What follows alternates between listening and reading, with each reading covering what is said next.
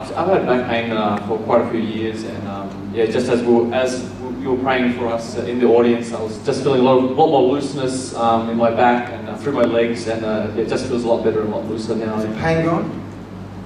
It's a lot better, yeah. You still got pain? Some, some, yeah, some a bit, of soreness, here But the pain's gone right down. It's gone right down, yeah. Right, and so you still got it where? Uh, just in my uh, lower back.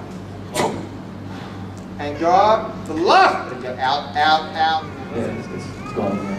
Give it a hand. And, and, and, and, and the pain is the pain is there for how long? Uh, probably since I was about 19, So how old are you now? 39. A long time. No, 20 only was 20 years. 20 years. Just, just, just move around. How's that going? It's great, yeah.